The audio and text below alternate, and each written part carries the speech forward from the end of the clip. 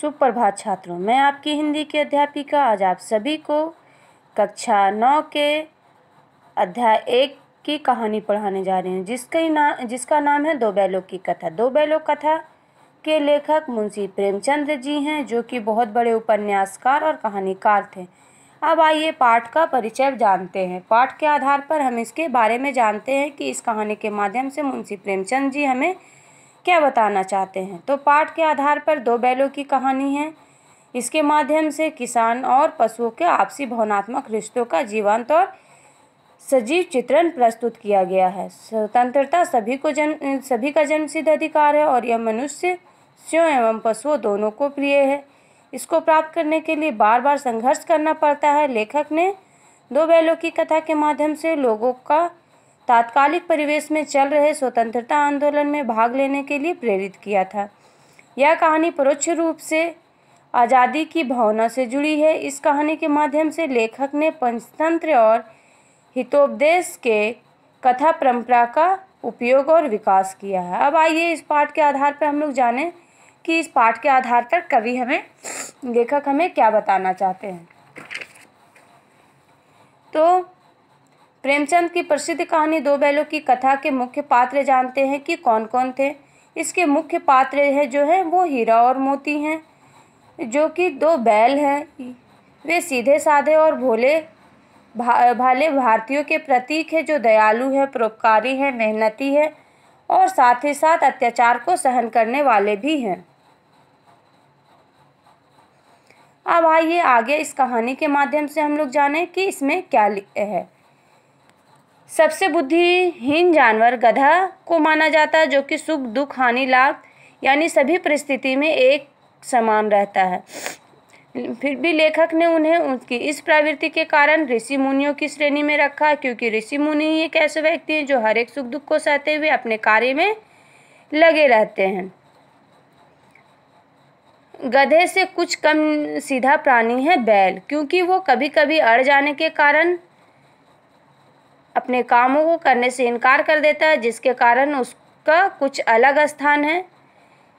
झूरी काछी के पास बैलों की एक जोड़ी थी। जान, दोनों पछई जाति के सुंदर, सुडौल और मेहनती बैल थे। साथ साथ रहते हुए उस, उनको अपने मालिक से प्रेम हो गया। वह आपस में गहरी मित्रता हो गई। वे आँखों ही आँखों में एक दूसरे की बात को समझ लेते थे। हीरा सहनशील तथा धैर्यवान था। मोती बहुत जल्दी ही गुस्से में आ जाता था। किसी कारणवश झूरी को बैलों को अपने ससुराल भेजना पड़ा। बैलों ने समझा कि मालिक ने उन्हें बेच दिया। झूरी का साला गया आगे धकेला तो वे पीछे रहने लगे। संध्या के समय वे झूरी के साले के यहाँ पहुँचे तो ए, पहुँच तो गए पर उन्होंने बेगानापन सताने लगा और उन्होंने उन, उन्होंने चारे में मुँह तक न डाला।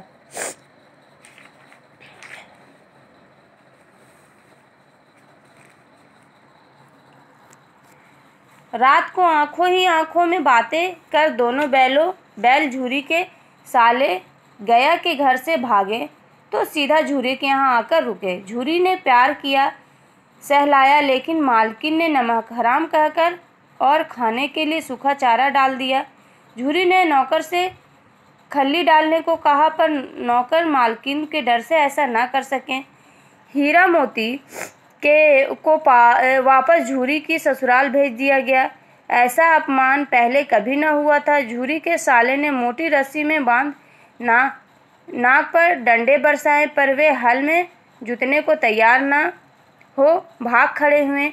गले में मोटी रस्सी होने के कारण वो जल्दी ही पकड़े गए।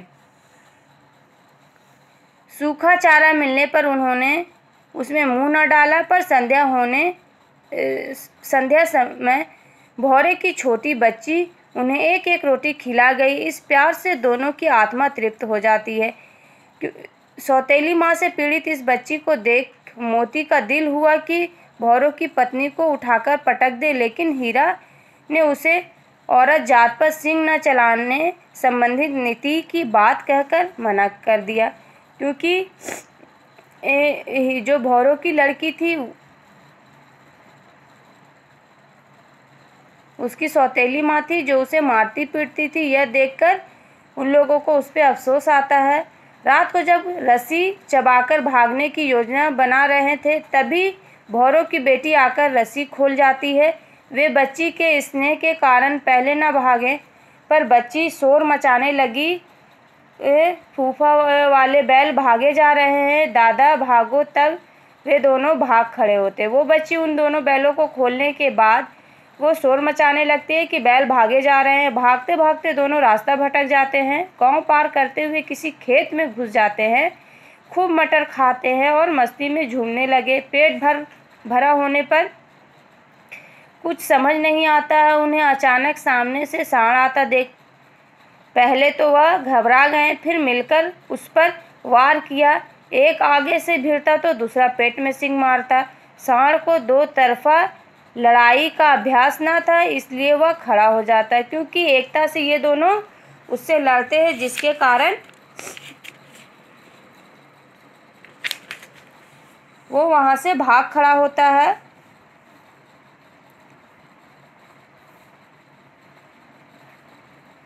सांड को हराकर नशे में चूर वे सामने मटर के खेत में फिर से घुस, घुसे ही थे कि मालिक आ गया हीरा भाग सकता था, लेकिन मोती के खातिर वह भी पकड़ा गया पकड़ा गया। लठैतों ने पकड़ा और काजी हाउस में कैद कर दिया।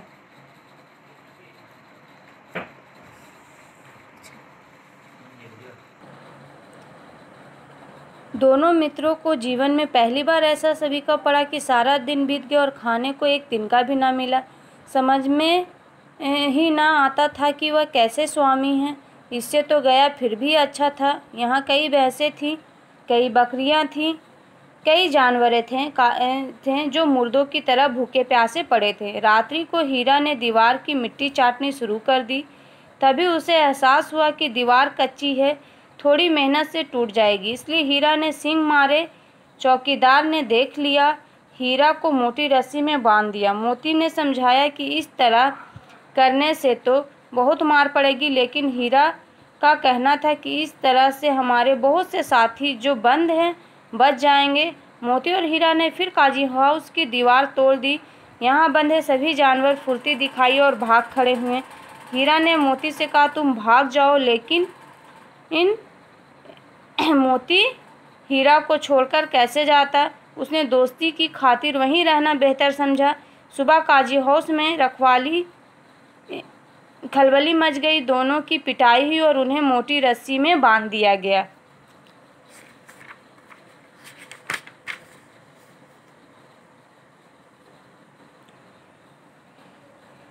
एक सप्ताह तक दोनों वहाँ बंधे पड़े रहे। किसी ने चारे का एक तिनका तक भी न डाला। हाँ एक बार पानी दिया जाता था। यही उनका आधार था। दोनों इस दुर्, इतने कमज़ोर हो गए थे कि उठने तक नहीं जाता था। ठठरियाँ निकल आई थी। हड्डी हड्डी उनकी दिखाई देने लगी थी।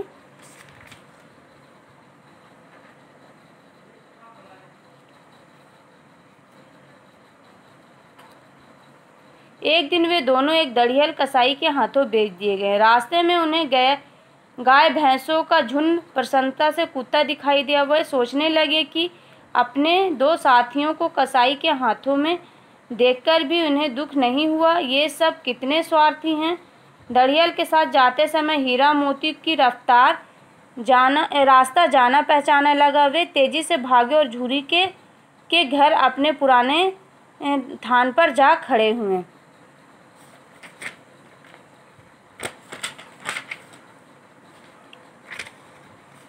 जा खड़े हुए। झूरी ने उन्हें प्यार से गले लगाया। वे झू, वे भी झूरी का हाथ चाटने लगे। पीछे से आकर दड़ियल ने बैल की रस्सी पकड़ ली। पर मोती ने ऐसा सिंह चलाया कि दड़ियल सिर पर पाँव रखकर भागा। झूरी ने प्यार से नादों में खल्ली, चोकर, दाना एवं भूसा भर दिया। दोनों मित्र प्रसन्नता ही प्रसन्नता से इतमान हो गए और वो चारा खाने लगे। गाँव भर में दोनों की खूब प्रशंसा हुई। मालकिन ने भी आकर उन दोनों को प्यार किया और प्यार से माथा चूमा।